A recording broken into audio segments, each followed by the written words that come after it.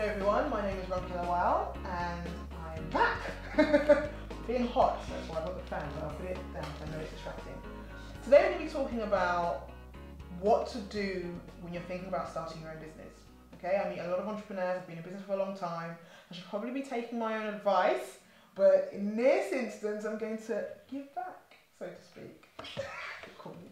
Um, so here are a few of my ideas or a few lessons that I've learned, and really, really easy. You know, for me, it's really straightforward, but some people might forget. So let's get cracking.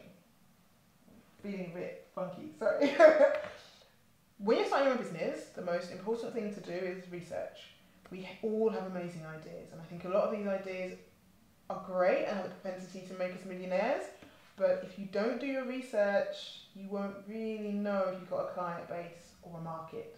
So do your market research, okay? And please don't just ask your friends and family, ask people. Ask as many people as possible. And it's not just about, you know, giving your idea away. I know a lot of people struggle with, oh, am I sharing too much? No.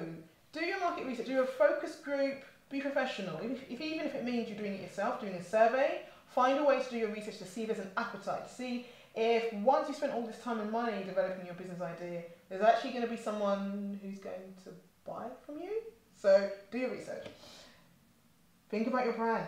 What's your brand? What's your branding? What's your brand? What is your business? Who are you? What are you selling?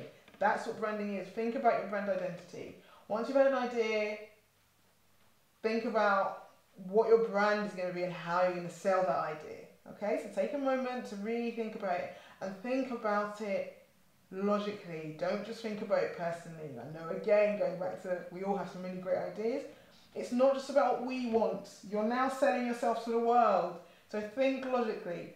Will people like this brand? Is this a, are these great colours? Is it a great brand message? Is it is it going to sell? Is it going to sell? Because fundamentally, being a business is about sales. So once you've done your research, think about your brand and your branding and your brand message messaging.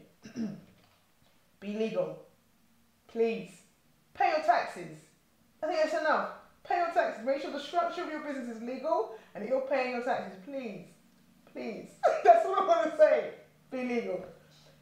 Next, once you've structured your business and it's legal, and you're paying your taxes, market yourself. So figure out a way, a strategy, a marketing strategy, and go for gold. Okay, marketing is fun. I know I'm saying that because I'm in, I'm that's my business, but marketing is great fun because once you've got this great idea that you already know people want want to buy and buy from, the marketing should be the best part. Okay, that's part of the the showcasing. You're showing your your product or your service, or even you know yourself. If you're if you're a you're a professional selling your services, you're you're selling that. So market yourself. So you use social media, advertising. Get out there and market, market, market. It's so much fun. But make sure when you're launching your business, you're ready to do the work to market your business.